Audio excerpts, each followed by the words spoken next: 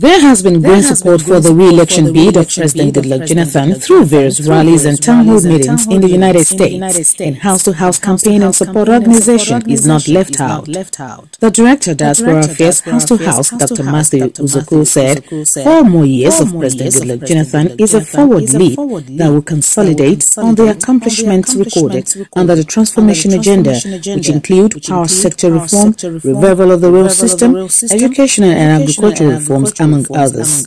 We believe that, we believe that the amazing transformation going on in our country, in our country, deserves continuity for another four years. Four years. Many other things is done. Many things different, different, going back, going back to to what we should not, what we should not experience. So, so we want him to come back to come back and continue, continue this transformation, transformation agenda for which I for which I will myself, myself for this country. This country. He's a president we can all be proud about.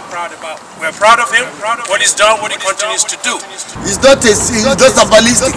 Yes. He's doing the right thing for Igbo, for Yoruba, for Hausa, for anywhere you are, you are free. We all need to back him up and um, give him another four more years. Four more In Washington, D.C., Adeyemi Omojola Fatoba, NTA News.